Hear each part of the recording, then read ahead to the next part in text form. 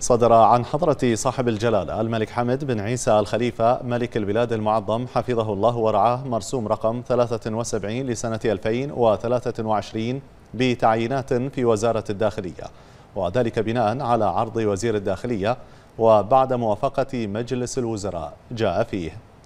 يعين في وزارة الداخلية كل من العميد سلمان محمد الزايد الجلاهمة مديرا عاما للإدارة العامة للحراسات.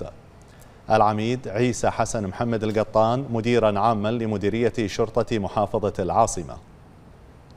العميد صالح راشد فهد الدوسري مديرا عاما لمديرية شرطة المحافظة الشمالية. العميد ركن علي محمد جاسم الكبيسي مديرا عاما للإدارة العامة للدفاع المدني. العميد سلطان أحمد جمع الكعبي مديرا عاما لمديرية شرطة محافظة المحرق. العقيد عمار مصطفى جعفر السيد مساعدا لرئيس الأمن العام لشؤون المجتمع. العقيد إبراهيم خليفة إبراهيم الذوادي مديرا عاما للإدارة العامة لشؤون رئاسة الأمن العام. العقيد أحمد جاسم مبارك الهتيمي مديرا عاما للإدارة العامة لأمن المنافذ. العقيد عبد الله أحمد عبد الله العيسى قائدا لطيران الشرطة بدرجة مدير عام.